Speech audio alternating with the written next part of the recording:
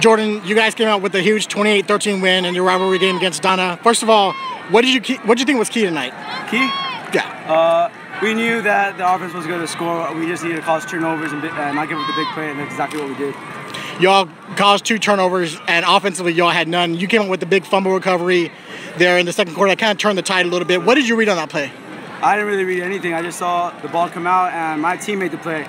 If it wasn't for my teammates, that play would have never happened. Defensively, what worked for you guys tonight against Donna?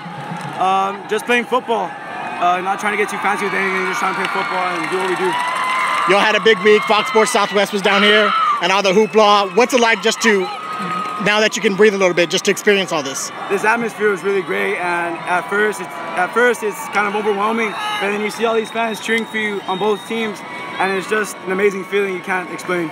Defensively, defense has usually led Weslaco throughout its tradition. What is what's the defense like this year? What have you liked about what you've seen through the first two games? Uh, first two games, first game we kind of slacked off. This second game we picked it up a little bit, and offense is going to always carry us on our back. And whenever they're down, we got them. Whenever we're down, they got us. For a player's perspective, how big is it to now win three straight over Donna and to, and to get a, another big win in this rivalry? It's it's a good rivalry, but like they always say, it's just a football game. Now you got to move on to the next one.